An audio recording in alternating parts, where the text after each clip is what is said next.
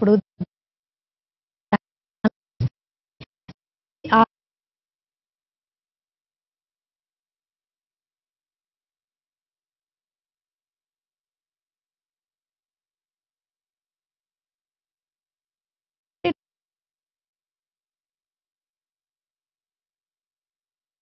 Trigger అవడం కొంచెం సెన్సిటివ్గా ఉండడం అనేది రోగనిరోధక శక్తి తగ్గడం వల్లనే ఉంటదంటారా? ఎస్ సో జనరల్లీ ఇప్పుడు మీరు అన్నట్టు కొన్ని రకాలుగా పదార్థాలు పడకపోవడము ఆర్ కొన్ని ఓడర్స్ ఆర్ వాళ్ళకు స్మెల్ పీల్చుకున్నప్పుడు జలుబు తుమ్ములు రావడము తలనొప్పి రావడము ఇవన్నీ మనం చూసుకుంటే హైపర్ సెన్సిటివిటీ అని చెప్తుంటాం మనము. అంటే అందరు మన నార్మల్ హ్యూమన్ బీయింగ్స్లో ఏంటంటే సెన్సిటివిటీ ఉంటుంది. అంటే వాళ్ళు ఆ పదార్థానికి రెస్పాండ్ అవుతారు కానీ అతిగా మన శరీరం రెస్పాండ్ అయినప్పుడు కొన్ని లక్షణాలు కనిపిస్తుంటాయి. లైక్ అలర్జిక్ రైనైటిస్ సింపుల్గా మనం మాట్లాడుకుంటే ఇక్కడ ఏమవుతుంది? వాళ్ళకు వెంటనే ఏదైనా పదార్థాలు ఎక్స్పోజ్ అయినప్పుడు లైక్ కుకింగ్కి ఆ స్మెల్కి ఎక్స్పోజ్ అయినప్పుడు కావచ్చు పర్ఫ్యూమ్ స్మెల్కి ఎక్స్పోజ్ అయినప్పుడు కావచ్చు అగరబత్తి శ్వాసన కావచ్చు సడన్గా వాళ్ళకు ఈ జలుబు స్టార్ట్ అయ్యడం వాటర్ లాగా నీళ్ళు కారడము తుమ్ములు వచ్చేయడము కంటి దొరదలు రావడం కళ్ళు ఎర్రబడిపో కళ్ళు ఈచింగ్ ఆఫ్ ఐస్ అంటాం మనము. ఈ సిమ్టమ్స్ అనేవి కనిపిస్తుంటాయి. ఇది ఇమ్యూనిటీ తగ్గడం వల్ల అనేది ఉండదండి. ఇక్కడ మన ఇమ్యూన్ సిస్టంలో కొన్ని రియాక్షన్స్ ఉంటాయి. దానిలో type one hyper sensitivity reaction అంటాం మనము. సో ఫస్ట్ టైప్ ఆఫ్ రియాక్షన్లో మన ఇమ్యూన్ సిస్టమ్ కొన్ని పదార్థాలకు ఎక్కువగా రెస్పాండ్ అవుతుంది. So immune system is normal but it is responding to certain substances in hyper sensitive manner అని చెప్తుంటాము. So this is one thing second thing వచ్చేసి మనం మాట్లాడుకుంటే ఒకవేళ పూర్ ఎయిర్ క్వాలిటీ ఉందనుకోండి. సో ఎయిర్ క్వాలిటీ సరిగ్గా ఉండకపోవడం పొల్యూషన్ ఆ ప్రాంతంలో ఎక్కువ ఉండడము.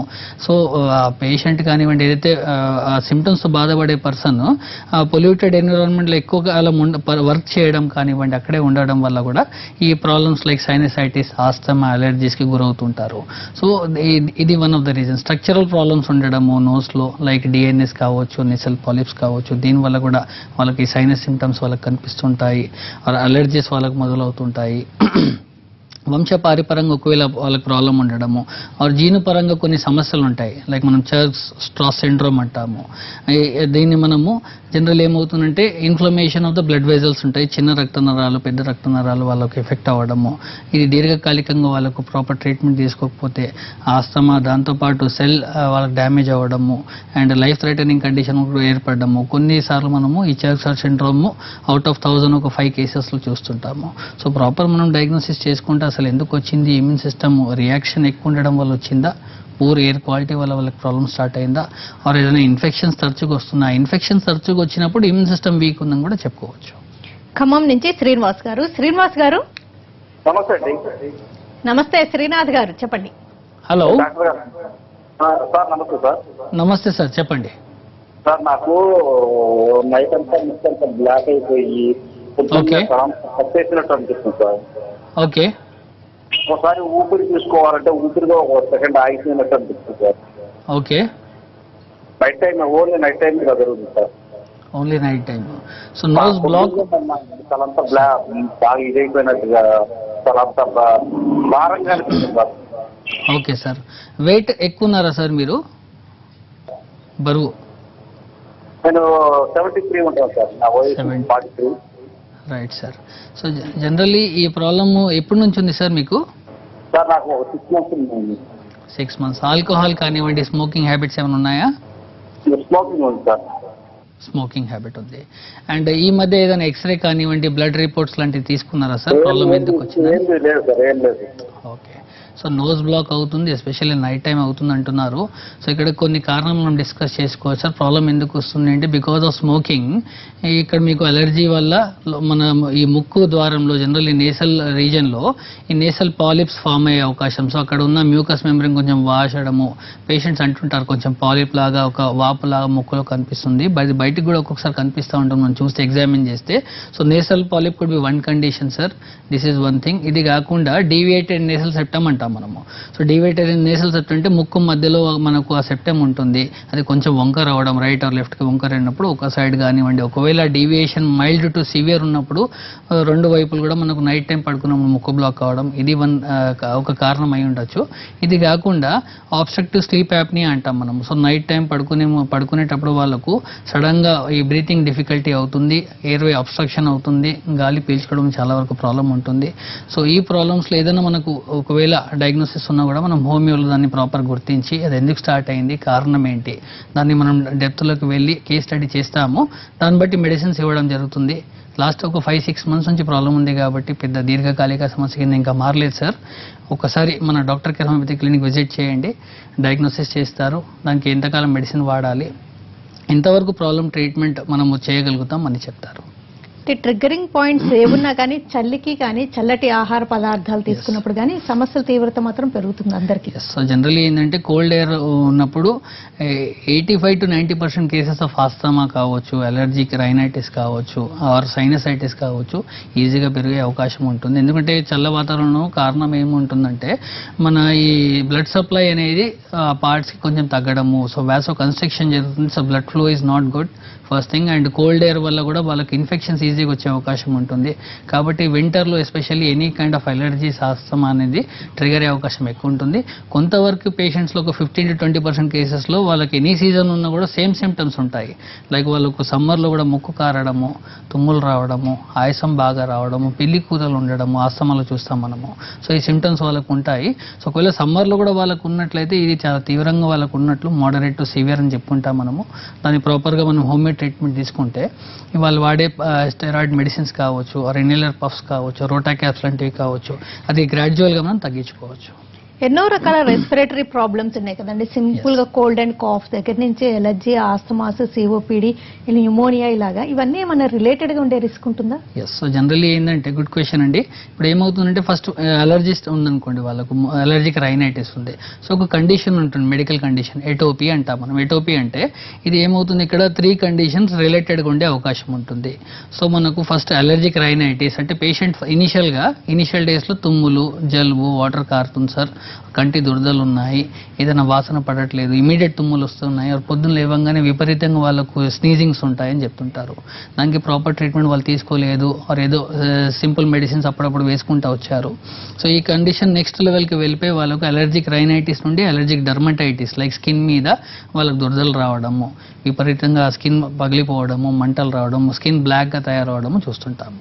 ఈ కండిషన్కి మనం నెక్స్ట్ లెవెల్ చూసుకుంటే if the patient has history of allergic dermatitis and allergic rhinitis వాళ్ళకి ఆస్తమాకి డెవలప్మెంట్స్ వచ్చే అవకాశం ఫ్యూచర్లో కూడా ఉంటుంది. So these things are related ఎటోపియన్ మనం చెప్పుకుంటాము. ఇది వంశపారిపరంగా వచ్చే అవకాశం ఉంటుంది.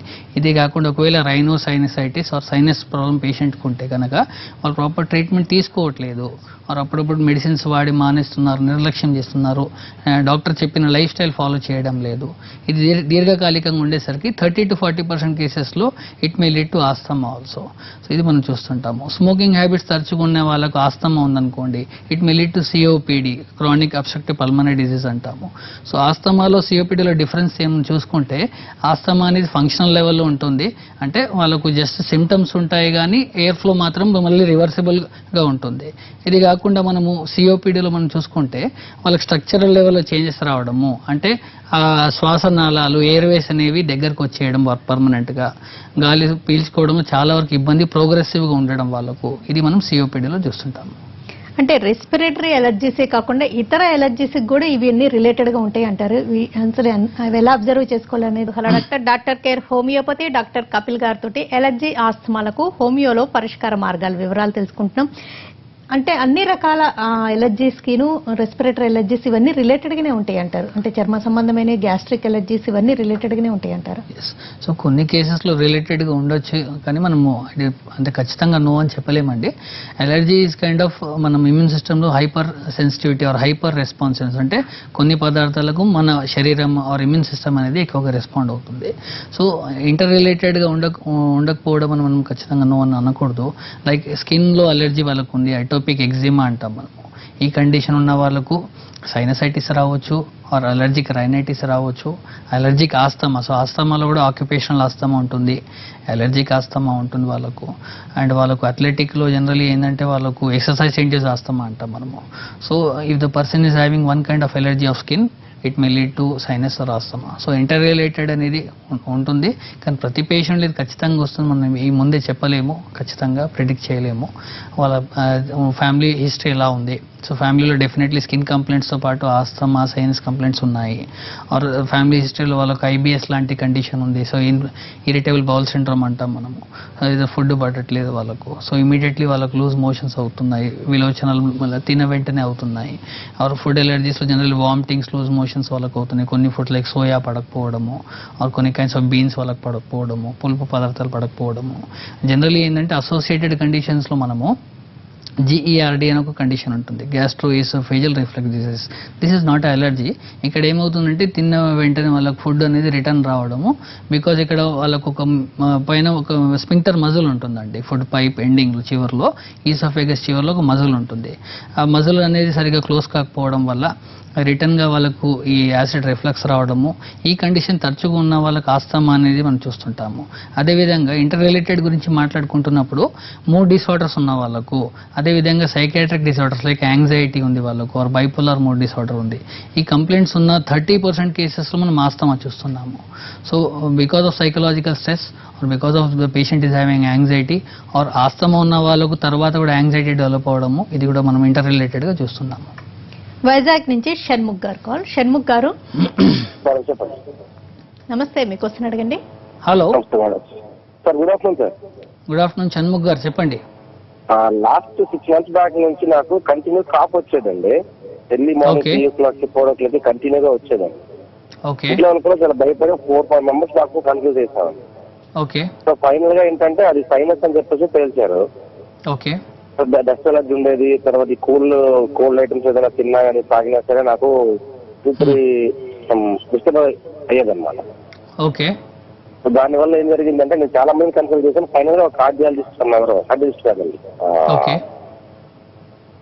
నేమ్ మర్చిపోయాను ఆయన పేరు. సార్ ఆయన ఏంటంటే ఒక ఇన్హాలర్ ప్రిఫర్ చేశారండి. ఏంటి ఇది సార్ వారంటీ మీకు. ఇన్హాలర్. ఇచ్చారండి. ఓకే.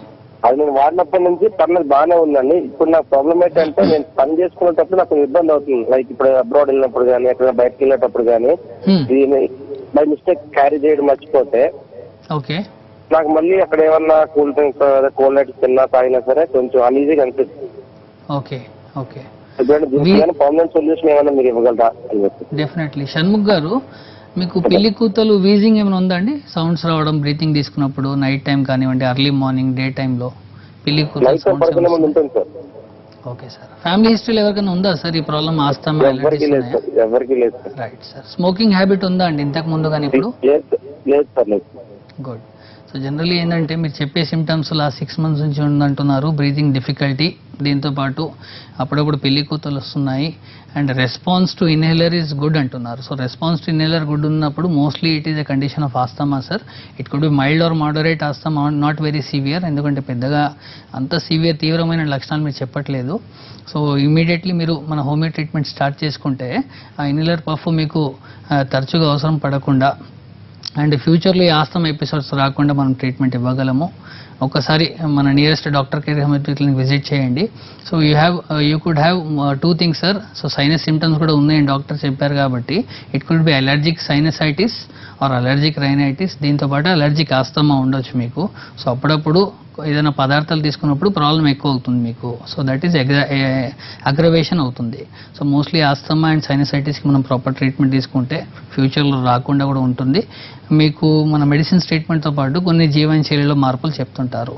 అది ఫాలో చేయండి లైక్ డైట్ పరంగా కొన్ని టిప్స్ చెప్తారు. ఒమేగా త్రీ రిచ్ పదార్థాలు లైక్ వాల్నట్స్ తీసుకోవడము chia seeds or flax seeds consume చేయడము avoid cool drinks and ice cream for few days or refrigerated పదార్థాలు మనం వేడి చేసి కూడా తీసుకోవద్దు ఆస్తమా పేషెంట్స్ చెప్తుంటాం వాళ్ళకు.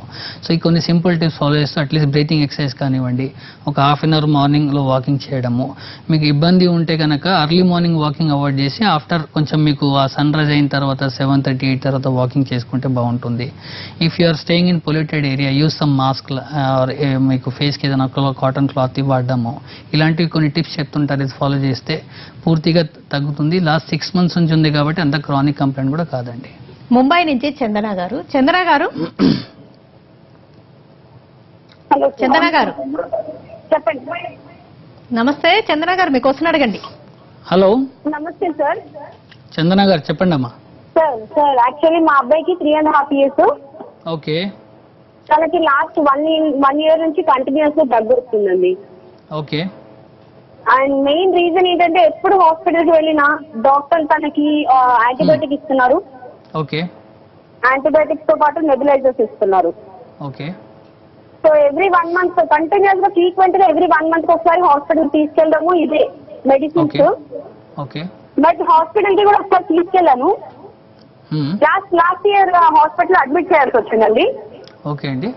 అడ్మిట్ చేస్తే వాళ్ళు టూ త్రీ డేస్ వరకు అడ్మిట్ చేసుకుని ట్రీట్మెంట్ చేసి పంపించారు. What Okay. Is is maybe initial స్టేజ్లో ఉంది ఆస్తమా లీడ్ అవ్వడానికి అని. ఓకే సో ఆ తర్వాత నుంచి ఇన్హేలర్స్ వాడుతాం. వన్ ఇయర్ నుంచి వాడుతూనే ఉన్నాను రెగ్యులర్గా. ఓకే. లైక్ ఒకటేమో ఈజిక్లో వాడుతున్నాను ఇంకోటి జెడక్సినైడ్ వాడుతున్నాను. Then to. వన్ మంత్ ఒకసారి మళ్ళీ దగ్గు వస్తుందండి.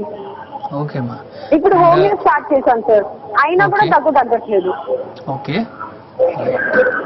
అండ్ మీ ఫ్యామిలీలో ఎవరికైనా ఈ ప్రాబ్లమ్స్ ఉన్నాయండి? మీ వైపు కానివ్వండి మీ హస్బెండ్ వైపు మా నాన్న? వాళ్ళ నాన్నకి అంటే మా తాతయ్య బట్ ఆయన చనిపోయి నైన్టీన్ ఇయర్స్ అవుతుంది. నైన్టీన్ ఈరోజు అరౌండ్ ట్వంటీ ఫైవ్ ఇయర్స్ అండి. ఓకే. ఆయనకి లాస్ట్ చనిపోయే స్టేజ్ ముందు టీబీ ఉందని విన్నాను. Okay okay. సో జనరలీ అబ్బాయి three and half years age అంటున్నారు. లాస్ట్ వన్ ఇయర్ నుంచి తరచుగా మెడిసిన్స్ వాడినా కూడా మళ్ళీ రిలాప్స్ అవుతుంది అంటున్నారు. సో ఇక్కడ it could be one thing first immune system ఒకవేళ ఇమ్యూన్ డెఫిషియన్సీ ఉండడం వల్ల వాళ్ళకు తరచుగా ఈ బ్యాక్టీరియల్ కానీ వైరల్ ఎపిసోడ్స్ రావడం వల్ల ఈ అప్పర్ రెస్పిరేటరీ ట్రాక్ట్ ఇన్ఫెక్షన్స్ రావడము అండ్ ఇది తరచుగా వచ్చినప్పుడు it may lead to asthma nebulisers or inhaler puffs ఎక్కువ వాడినప్పుడు అది ఆస్తమాకి దారితీసే అవకాశం కూడా ఉంటుంది. సో హోమియో మీరు ఇంతకుముందు ఎక్కడ వాడారో I will not comment about that but మన దగ్గర డాక్టర్ కేర్ హోమియోపతిలో కాన్స్టిట్యూషన్ హోమియోపతి మెడిసిన్స్ అంటాం మనము. So first of all will go for a detailed case study family history pass చేసి డ్యూరింగ్ ప్రెగ్నెన్సీ మీకు ఏదైనా థైరాయిడ్ సమస్య కానివ్వండి బ్లడ్ ప్రెషర్ రావడము ఆర్ ఏదైనా మెడిసిన్స్ ఇంతకుముందు for pregnancy or during pregnancy వాడారా? During pregnancy ఏదైనా స్ట్రెస్ ఉందా? ఆర్ చిన్నతనం ఆఫ్టర్ ఇమీడియట్లీ ఆఫ్టర్ బర్త్ ఏదైనా అబ్బాయికి ప్రాబ్లమ్స్ వచ్చాయా? ప్రతిదీ అడుగుతాము. అబ్బాయి యొక్క సైకలాజికల్గా అబ్బాయి ఎలా ఉన్నాడు రెస్ట్లెస్నెస్ కానివ్వండి హైపర్ యాక్టివిటీ ఏదైనా ఉందా? సో హోమియోలో ఇవన్నీ మనం డీటెయిల్గా అడిగిన తర్వాత ఆకలి నిద్ర ప్యాటర్న్ ఇవన్నీ ఎలా ఉన్నాయి? ఎందుకు ప్రాబ్లం తరచుగా రిపీట్ అవుతుంది? ఇది ఫైండ్ అవుట్ చేస్తాము. దాన్ని బట్టి మెడిసిన్స్ ఇవ్వడం జరుగుతుంది. మన దగ్గర కొన్ని మంత్స్ రెగ్యులర్గా ట్రీట్మెంట్ ఇస్తుంటాము. సో దట్ ప్రాబ్లం పూర్తిగా తగ్గాలి. అది మళ్ళీ రాకుండా ఉండడానికి కొన్ని టిప్స్ చెప్తాము. ఫాలో చేసుకుంటే డెఫినెట్లీ తగ్గుతుంది. మరో షార్ట్ బ్రేక్ తీసుకుందాం అండి బ్రేక్ తర్వాత ఇలాగ రెస్పిరేటరీ ప్రాబ్లమ్స్ తరచూ వేధిస్తుంటే ఒక్కోసారి ప్లేస్ చేంజ్ చేయమని సజెస్ట్ చేస్తుంటారు? అది ఎంతవరకు ఆ, సమంజసమో డిస్కస్. చేద్దాం. ఇప్పుడు hello doctor. Doctor Doctor Care Homeopathy doctor Kapil గారితో ఎలర్జీ ఆస్తమా వంటి శ్వాస సంబంధ సమస్యలకు హోమియో వివరాలు తెలుసుకుంటున్నాం. రాజశేఖర్ గారు రాజశేఖర్ గారు? చెప్పండి మేడం. నమస్తే అండి. చెప్పండి మీ క్వశ్చన్ అడిగింది నమస్తే మేడం. హలో. నాతో మాట్లాడుతున్నాను. సార్ నమస్కారం నమస్తే రాజశేఖర్ గారు. చెప్పండి సార్. సార్ నాకు చోల కాడ కంట సైడ్ చోల మీద నరాలు. పెయిన్స్ వస్తున్నాయి సార్. ఓకే. నేను బోల్డ్ వర్క్ చేస్తాను కంట నరాలు కంట సైడ్ చోల మీద పెయిన్స్ వస్తున్నాయి నరాలు తగ్గట్లేదు. నేను ఇక్కడ. నరకంలో హోమియోపతి మందులు వాడాను కానీ దేనికి తగ్గట్లేదు. ఇప్పుడు ఇంగ్లీష్ మందులు బలానికి ఇంగ్లీష్ మందు బలానికి వాడితే తగ్గుతుంది మళ్ళీ వస్తుంది. ఓకే. లైట్గా సార్ ఈ బలం ప్రాబ్లం. ఎప్పటి నుంచి ఉంది? టూ త్రీ మంత్స్ అవుతుంది సార్. అది మేము వర్క్ ఓకే ఓకే. మీకు డయాబెటీస్ లాంటి. ప్రాబ్లం ఏమైనా ఉందా అండి? షుగర్ ఏమైనా ఉందా? ఏం లేదు సార్ చెక్ చేయలేదు ఇప్పటివరకు అయితే ఏం అనిపించలేదు నాకు. రైట్ సార్ మీ ఏజ్ ఎంత అండి? రాజశేఖర్ గారు? నా ఏజ్ ఫార్టీ అబౌవ్ ఉంది sir. Forty above. Sir. Okay. మెడ నొప్పి ఏమైనా ఉందా అండి ఇప్పుడు? మెడ నొప్పి ఉంది సార్. మెడ నొప్పి చెవుల మీద మధ్య చెవుల కాడ కంట కాడ పీలుస్తుంది బాగా. బలం టాబ్లెట్ వాడినా తగ్గు తగ్గుతుంది మళ్ళీ వస్తుంది ఇంగ్లీష్ మందు.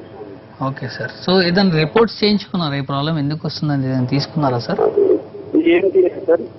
ఏం చేయించాలి సార్? సో ఒకసారి హెచ్బిఏవన్సీ ఉంటుంది సార్. మనకు ఏదైనా షుగర్ ప్రాబ్లం ఉంటే హెచ్బిఏవన్సీలో లాస్ట్ త్రీ మంత్స్లో షుగర్ కంట్రోల్ ఉందా లేదా తెలిసిపోతుంది. బిలో సిక్స్ ఉంటే భయపడాల్సిన అవసరం ఏమీ లేదు. సిక్స్ పాయింట్ ఫైవ్ అబవ్ ఉందనుకోండి మనకు షుగర్ ఉన్నట్టు. సో అదొక్కసారి చేయించుకోండి. ఇది కాకుండా ఒకసారి ఎక్స్రే కూడా తీయించుకుంటే అట్లీస్ట్ ఏదైనా అక్కడ ఇన్ఫ్లమేషన్ ఉందా. మనకు మాస్టోడైటిస్ అనే ఒక ప్రాబ్లం ఉంటుంది అక్కడ. సో మాస్టాయిడ్ ప్రాసెస్ ఉంటుంది. అక్కడ బోని గ్రో బోన్ ఉంటుంది. దానిలో ఏదైనా ఇన్ఫ్లమేషన్ ఉందా? ఆర్ ఇయర్కి ఏదైనా సంబంధించిన ప్రాబ్లం ఉందా? మనం డయాగ్నోస్ డయాగ్నోస్ చేద్దాము. ఒక్కొక్కసారి సర్వైకల్ స్పాండలైటిస్ మెడ నొప్పి సో వెన్నుపూస మెడలో ఉన్న వెన్నుపూసల సమస్య ఉన్నప్పుడు కూడా అక్కడ నరం మీద ఒత్తిడి పడి వన్ సైడ్ మనకు సిమ్టమ్స్ వస్తుంటాయి. కానీ దీంట్లో జనరల్ మీరు గోల్డ్ వర్క్ చేస్తుంటారు కాబట్టి మెడ మీద ఎక్కువ ప్రెషర్ పడుతుంటుంది. హెడ్ బాగా బెండ్ చేసి వర్క్ చేయాల్సి వస్తుంది కాబట్టి it could be cervical spondylitis symptoms it could be so మనం ప్రాపర్గా ఒకసారి మీ క్లినిక్ వస్తే డయాగ్నోస్ చేద్దాము.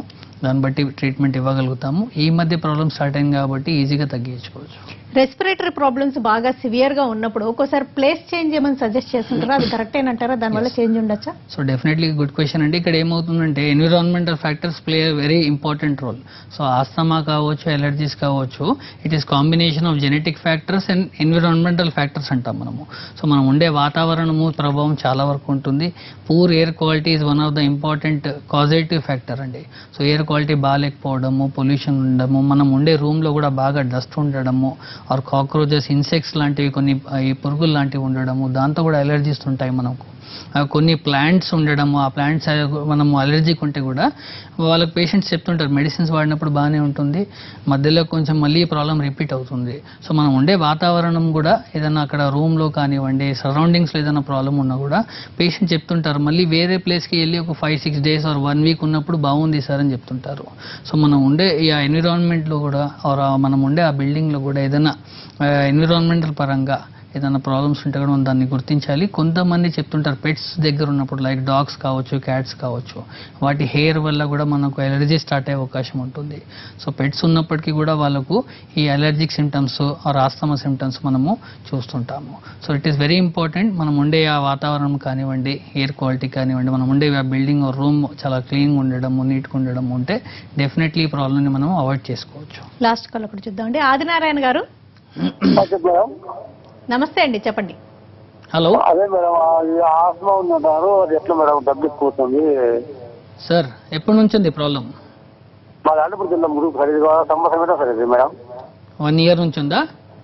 అవును సార్ అవును సార్. ఓకే సార్ ఇప్పుడు ఆస్తమా అంటే సిమ్టమ్స్ ఏమున్నాయండి? లక్షణాలు ఏమున్నాయి? డబ్బు ఎక్కువ వస్తుంది మేడం సార్ నాకు తిన్నప్పుడు ఆయాసం వస్తుంది కూర్చున్నప్పుడు ఆయాసం వస్తుంది. ఓకే. ఆ. పిల్లి కూతలు ఉన్నాయండి? సార్? పిల్లి కూతలు శబ్దం ఏదైనా వస్తుందా శ్వాస తీసుకున్నప్పుడు పిల్లి కూతల సౌండ్స్ ఏం రావట్లేదు. సిగరెట్ హ్యాబిట్ ఏమైనా ఉందండి? బీడీ సిగరెట్ ఇంతకు ముందు ఏదైనా ఉన్నాయా? అలవాటు సార్. Okay sir. మీ ఫ్యామిలీలో ఎవరికైనా ఆస్తమా సిమ్టమ్స్ కానివ్వండి ఆయాసం లాంటిది ఉందా అండి? ఓకే. సరే. సార్ సో ఈ ప్రాబ్లం మీకు లాస్ట్ వన్ ఇయర్ నుంచి ఉందంటున్నారు. ఆయాసం వస్తుంది దాంతోపాటు ఈ దగ్గు రావడం అనేది మనం చూస్తున్నాము. So it could be allergy కాస్తాం అంటే మోస్ట్లీ ఏదైనా పదార్థాలకు మనం ఎక్స్పోజ్ అయినప్పుడు పొడి దగ్గు రావడం తరచుగా దాంతోపాటు ఆయాసం సడన్గా రావడము ఎక్కువ మెట్లు దిగ ఎక్కడం దిగడంలో కష్టంగా ఉండడము ఇవి సిమ్టమ్స్ ఉంటాయి. ఒకవేళ మీకు బీపీ ప్రాబ్లం ఏమైనా ఉండడం ఆర్ కార్డియాక్ సిమ్టమ్స్ అని ఉంటే కూడా ఒకసారి చూపించుకోవడం బాగుంటుందండి. కొంతమంది పేషెంట్స్లో మెడిసిన్స్ వాడడం వల్ల కూడా ఈ సిమ్టమ్స్ అనిపిస్తుంటాయి. లైక్ బీపీ ఒకవేళ ప్రాబ్లం మనకు హైపర్ టెన్షన్ ఉందనుకోండి దాంట్లో మనము యాంజియోటెన్సిన్ కన్వర్టింగ్ ఎంజైమ్ ఇనిబిటర్ ఈ మెడిసిన్ వాడదు ఏస్ ఇనిబిటర్స్ అంటాము. సో బీపీకి వాడే మాత్రల వల్ల కూడా పొడి దగ్గర రావడము ఆయాసం రావడం వాళ్ళకు ఈ తరచుగా ఉండుంటాయి. సో డాక్టర్కి మనం చెప్తే వాళ్ళు బీపీ మెడిసిన్ కూడా మార్చేసినప్పుడు ఈ ప్రాబ్లమ్స్ వాళ్ళకి సిమ్టమ్స్ తగ్గిపోతాయి.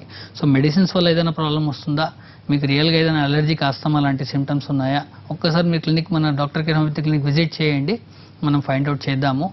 అండ్ చెస్ట్ ఎక్స్రే వీలైతే ఒకసారి తీసుకుంటే కూడా బాగుంటుంది సార్ ఓకేనండి డాక్టర్ కపిల్ గారు. ఎలర్జీ ఆస్తమా లక్షణాలు ఎలా ఉంటాయి? ఎంతవరకు రిలేటెడ్గా ఉంటాయి? ఎలా మేనేజ్ చేయాలి? అండ్ లైఫ్ స్టైల్ చేంజెస్తో పాటు ఎన్విరాన్మెంటల్ చేంజెస్ కూడా ఎలా ఉపయోగపడతాయి? అండ్ హోమియో ట్రీట్మెంట్ వివరాలు అందించినందుకు థ్యాంక్స్ థ్యాంక్ యూ ఇది వాళ్ళ హలో డాక్టర్.